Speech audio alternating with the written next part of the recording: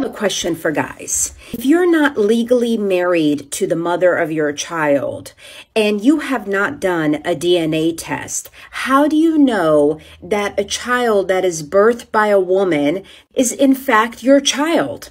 Just because she tells you it's your child, and even just because you sign the birth certificate, it doesn't necessarily mean that that is your child. This is a big issue that comes up for citizenship.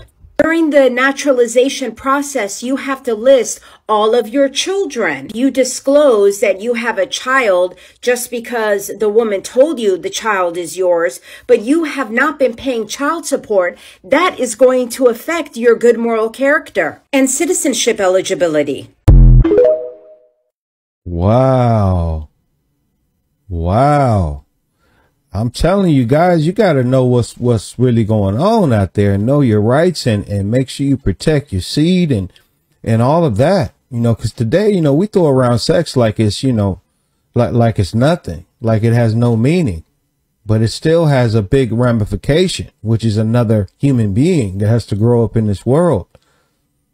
And a lot of people are out there just doing stuff with no responsibility, not being responsible on no kind of level you know, when you look at these women out here being promiscuous and sleeping with all these men, and then you got men going on good faith when someone tells them that they're pregnant, because that's one of the greatest joys you can experience as a man is to have a child.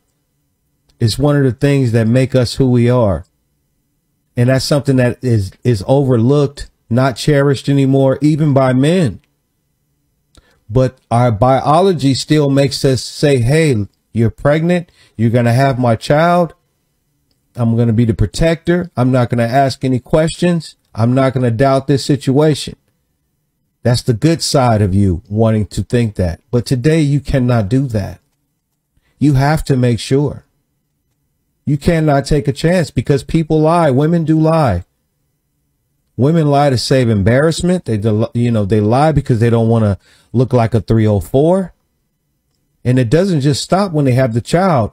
If that continues throughout that child's life, then now she's lying to the child and probably blaming you. And you might not even be the father.